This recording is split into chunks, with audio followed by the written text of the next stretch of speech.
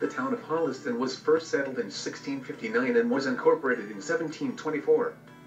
The name Holliston was taken in honor of Thomas Hollis, a benefactor of Harvard College. It is located in what is called the Metro West region of Boston and is centrally positioned between Boston, Providence, and Worcester with great access to major highways and commuter rail. True to its roots, you can find homes in this town dating back to the 1800s or older. There are also great neighborhoods with the most up-to-date homes that complement today's lifestyle and needs. Holliston has been described as the quintessential New England town. The architecture speaks to its rich history, while the infrastructure has been continually updated. You get the small, old-time town feel downtown. While you notice that the town has maintained pace with the demands for services and up-to-date facilities.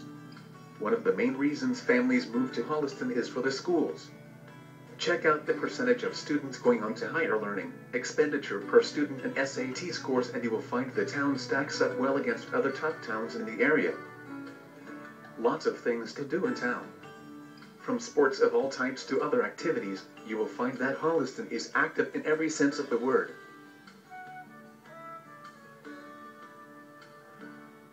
The Holliston Historical Society helps to keep the past alive and contributes to the rich fabric of the town the town has many interesting features and places to search out.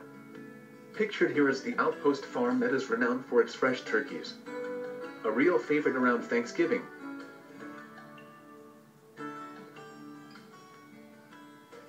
Thanks for taking the short tour of Holliston.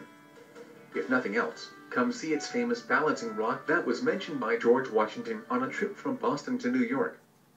It is rumored that even the general himself could not move the rock from its perch. It is still there today. Come see the rock and the rest of the town.